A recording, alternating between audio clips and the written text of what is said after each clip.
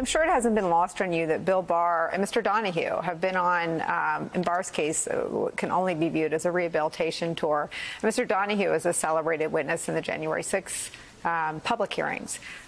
He's got a very different role in here. He was someone who I know you like and respect as an attorney, but Bill Barr trusted him more than you to investigate what? Tell us the story. Oh, sure. Uh, this was the uh, campaign finance violations arising out of the Michael Cohen guilty plea. And, um, you know, the while the case was shut down during that two month period, I get a call from one of Bill Barr's aides. Who was that? You read uh, uh, Seth Ducharme. And he says, uh, Jeff, um, uh, I spoke to the Attorney General. Um, uh, Rich Donoghue is going to be overseeing the uh, campaign finance violation cases that you're recused from. And, and Rich Donoghue, a U.S. attorney from another district, is going to come into your district and essentially take the supervision of those cases away from the Southern District. And, and he said, uh, you know, the, the Attorney General Barr has spoken to Rich, and Rich has agreed to do it and the briefings are going to start in two days. He's going to come into the Southern District, and, and the team is going to brief him on where the cases stand. And I said, Seth, that's not going to happen. And he said, Jeff, you, you don't understand. This is not a request by the Attorney General. This is a directive from the Attorney General. Uh, and that's a word we can get into that, that Bill Barr liked to use a lot. And, and I said, uh, Seth, uh, Rich Donoghue is not stepping foot in the Southern District of New York, and, and the conversation ended. What do you think Bill Barr thought Mr. Donoghue would do that SDNY would not? Look, Bill Barr clearly trusted Rich Donoghue a lot more uh, than he trusted me or anyone else at the Southern District of New York. In fact, Rich Donoghue then went to join uh, Bill Barr in D.C. Mm-hmm. Uh, you know, later in the, his tenure. So there was clearly a close relationship there. What do you think when you see these people present themselves publicly as bulwarks against a a, coup plot um, when you experience such a perversion and assault on the rule of law under their thumb? I think we should look at people prior to the November 2020 election, right? Uh, Trump, when Trump lost the election, I think a lot of people went through a personal calculus of their personal self interest. Uh, and, and, and after the election and after Trump lost, uh, Barr and others scurried off the ship. But I think we should examine, I think we should examine whether they followed their oath prior to the election. That's the inquiry that's important to me. And prior to the election, Barr did the bidding of the president, and he politicized the Department of Justice. And Barr couldn't have done what he did without the help of others in the Department of Justice. And you name names. I mean, a Senate Judiciary is going to start investigating this chapter. Who should be retaining defense counsel? Uh, that's really not for me to say. Well, uh, who was the group that politicized, sought to politicize the work of your office? Well, well, Bill Barr is the person who had ultimate responsibility for making. Bill Barr should have been standing in front of those magnificent doors of the Department of Justice stopping political infer- interference from entering. And instead, he was the chief architect of that interference. Talk about the Ukraine probes and what Bill Barr's vision was for them and why that mattered. Well, that was just crazy, right? I, I think he wanted to keep control. He didn't want the cases to spiral out of control. Just the, remind us what the cases were. Sure. The Southern District had indicted Lev Parnas and Igor Fruman. These are associates of Rudy Giuliani. Mm-hmm. And they had various dealings in Ukraine, and we were investigating those dealings. And it was our case. The Ukraine investigation was ours. What Bill Barr did was he set up this cockamamie system, this what he called the intake system in the field, as if it was some recognized thing. Uh, you know, I asked my all my senior staff, have, have, you ever heard of this before? They hadn't. I asked uh, Bill Sweeney, the FBI head, have you ever heard of this? He hadn't. It was crazy because usually if, if an individual has information about a matter, they go to the U.S. Attorney's Office that is handling that matter. But, but Barr set up the U.S. Attorney in Pittsburgh to take in evidence, including evidence that Rudy Giuliani was given. Like, we were a cab ride away from Rudy Giuliani. in this situation, Rudy Giuliani was required, you know, to, to drive all the way out to Pittsburgh to, uh, to provide whatever evidence. We wanted to see the evidence.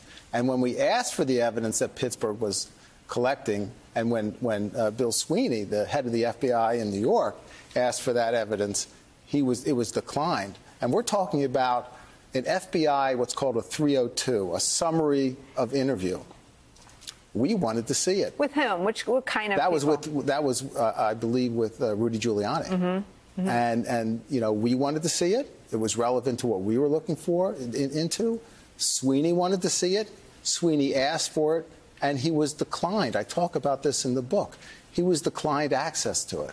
I mean, what's what's clear in the book is that it wasn't just, I mean, the, the corruption interferes with FBI's ability to function, as you said. And Ukraine caught my eye for multiple reasons. One, because John Bolton has an account from the foreign policy side of the perversion of diplomacy and normal government order by inserting Rudy Giuliani into U.S. foreign policy. It was also testified to in impeachment one.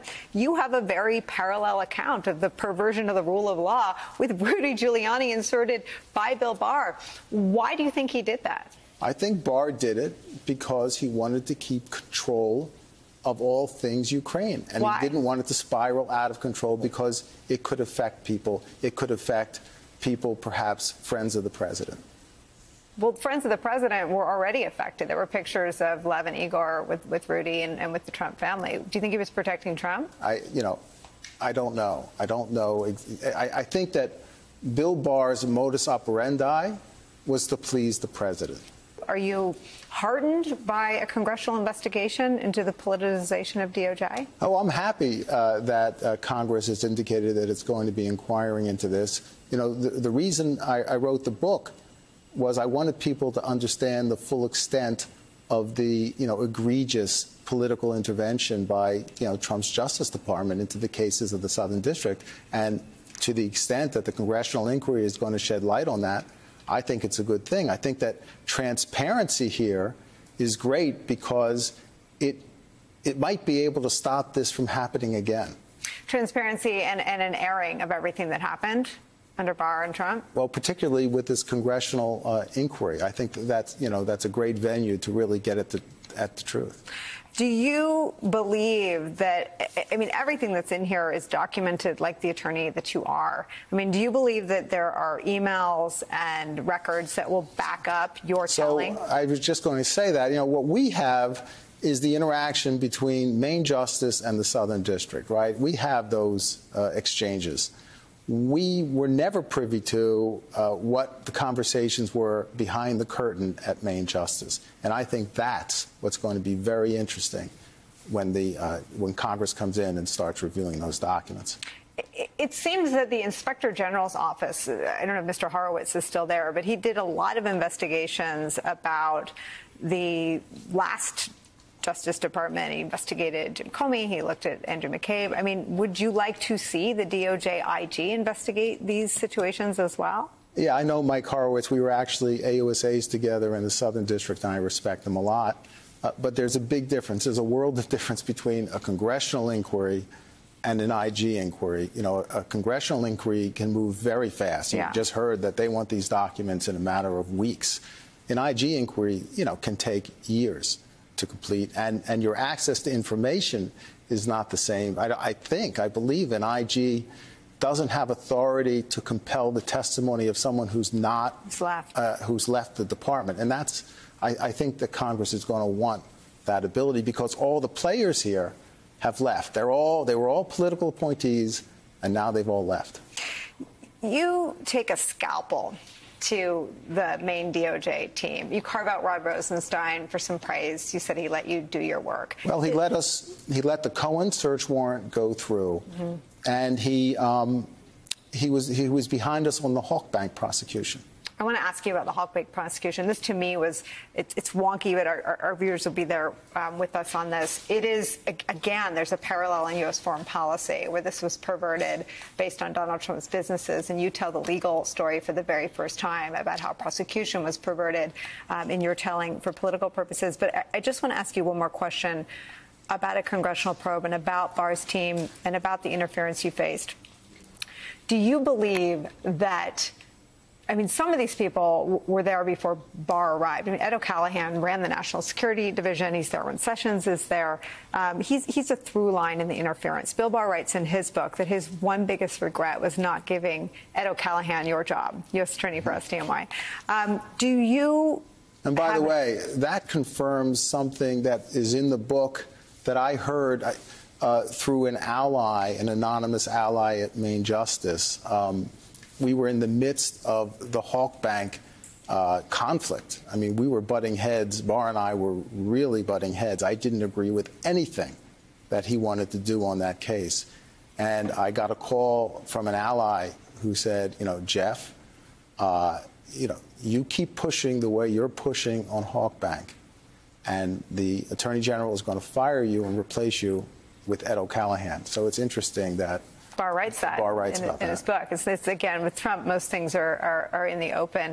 Um, I, I want to ask you one more question about Barr's team. Uh, Ed was the PADAG. Uh, Brian Rabbitt was his chief of staff. Do you believe that, that Rod Rosenstein tried to balance those types out? Or, or tell me how your interactions were so heavily weighted toward those who were comfortable applying so much pressure on SDNY? You know, it, it's it's really a mystery to me how that behavior could have been modeled and and you know by the higher ups there. And I, you know, the only thing I can think is that you know they must have had authority from very high up in the department for the things that they did. And you think a congressional investigation will answer that question? I I I, I do. Yes, I do.